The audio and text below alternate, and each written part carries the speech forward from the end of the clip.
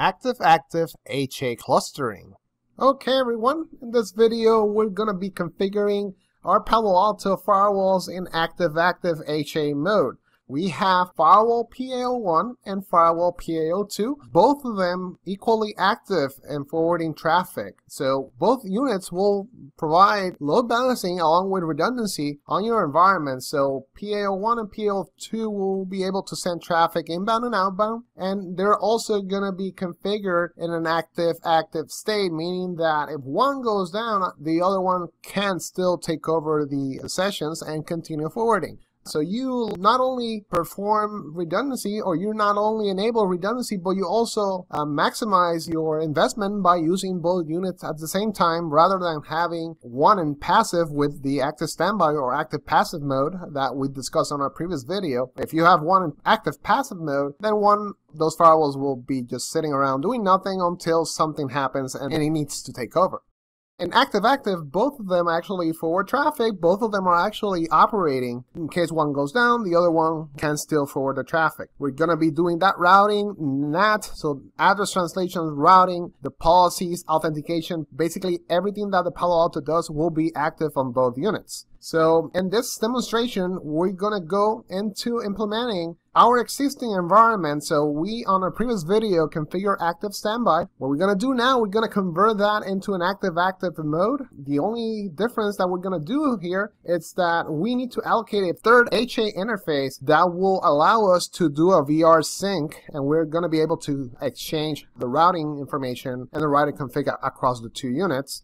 So we need to configure Ethernet 1 slash 5 to be an HA interface and then allocate this as our HA3 interface. Not only that, but we have to configure virtual IPs. We have to configure a local IP. So remember, before we only had one IP active, and because only one firewall was actually active, now because both of them are active, we actually have to configure an individual IP or a unique IP per firewall, and then configure a shared IP or a virtual IP that the cluster will use, or that your end users or resources will use to point in order to hit either one or two. Same way with the outside. I have my lab environment, so my demonstration environment, I have my outside NATed via this address space. So in this case, we were using 1 to 2 as our outside in active standby, but now that we're going to put both of them in active-active mode, then I got to configure the other unit to be 123, and then I'm to move my outside to be 121. So this will be my shared virtual IP between the two units.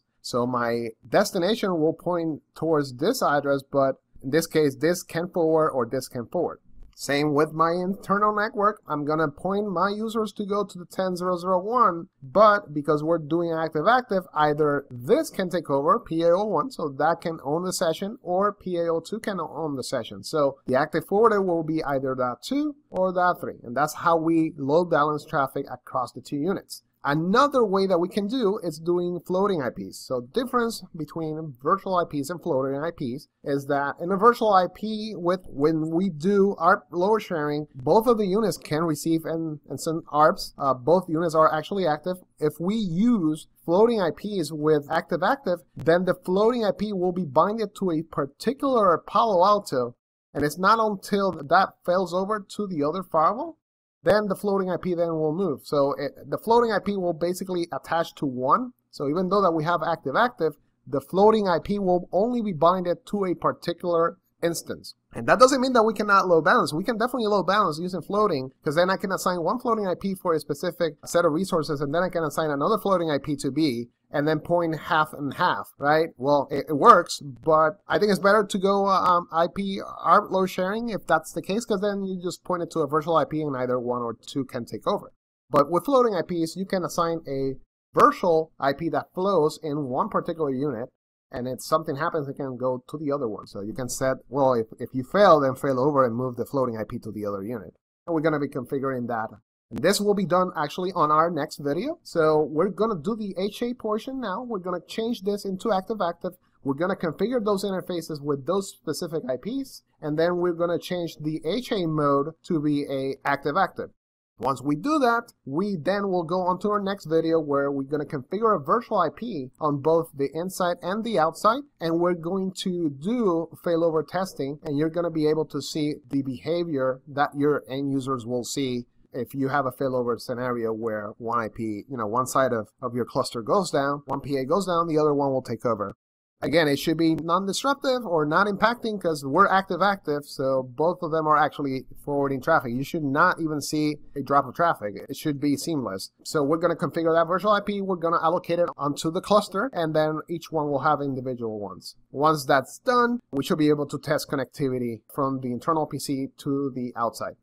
When we're doing active-active, another thing that I gotta emphasize, or I gotta tell everyone, it's that in active-active, your NAT statements cannot be duplicated between the two firewalls. And it's not that they cannot duplicate it, it's that you cannot have a single statement that will be shared across two firewalls. The translation rules, they have to be configured individually. So even though that I configure a NAT rule here and it will be replicated here, it only will be attached to one particular unit. So I gotta create the same NAT rule for the other firewall and attach it to the other unit. And you're gonna see that, don't worry, we'll configure that on during the virtual IP video. But for now, let's go ahead and convert this to active-active. And if for some reason you're you don't understand how to do the the complete HA config, I will suggest that you go onto our previous video and take a look at active standby because basically we're taking over the config of active, active standby and we're converting it to active active. So we're not just going to configure the whole thing from scratch. We're just going to change the mode to active active and you're going to see the difference uh, between the two of them. So let's begin. Okay, so if you remember our previous video, we configure active standby. So we have PA01, PA01 is the local active, and our PA02 is currently the passive one. So let's go ahead and configure active active. Let's allocate an IP to, so we, based on our slide, we mentioned that we need to allocate a specific IP to each firewall because now this address cannot be duplicated because we're running active active else you're going to have a duplicate MAC or a duplicate ARP because both have the same IP. We don't want that. So we need to configure specific IP per firewall and then once we're done with that, we should be able to enable active active. So let's go ahead and do that. Let's uh, PA01, we're going to select this interface right here and we're going to change that IP. As a matter of fact, I don't need to because this will stay in 122, so I think we should be fine on PA01. Let's uh, change that to be 123. Let me show you back the diagram so you're more familiar again. Okay, so if you see our diagram, we're going to change this address to be 123. So instead of having the same address, we need to have them, we need to configure 123 on this, and this will remain in 122. So let's go ahead and do that, and then we'll do dot two here, which will will we need to change that to dot two and then the other one will be dot three. So let's go ahead and configure that real quick. Go ahead and uh, IPv4, we're gonna configure this in 123, PA02, press OK, and we're gonna do the same thing for the other interface. And we're gonna allocate dot three here. Okay, so we have that one. We don't want to commit because we're in HA mode. So if I commit here, this can override PA01. We don't want that. We're just going to make the change, but we're not going to commit. Let's go ahead on PA1 and let's change this one. Okay, let's go ahead into IPv4 and this one will be dot two because I need that dot one. Dot one address will be our virtual, so I'm gonna change this to dot two. Press OK. This will stay the same. Now, we need to change the mode into active active. So let's go ahead and do that change right now. On device, we go to setup. We already have enabled HA. Group ID is 1. Now, here it goes. This is where we change that mode from active passive to active active. We'll press yes here. Now, because they're active active, each firewall will need to have a unique ID. PA01, we're going to leave this in ID 0, and then PA02 will have ID 1. Both units are active active, so each one must have a unique ID. So we'll leave this in 0, Re, uh, the same IPs as the active standby. We're not, we're not going to change that. It will be the same. So in case you're doing active active from the beginning, you know, you're not going to change from active standby. You're going to do a completely new setup. I will suggest you see the active standby video and just follow the same procedure. The only difference will be that you're selecting active active. So let's go ahead and device zero. We'll press OK here. Now we have a device priority even though that we're running active-active, in the Palo Alto, one is primary and the other one's secondary. So one unit will still have some sort of ruling over the other one. However, both of them are actually forwarding traffic.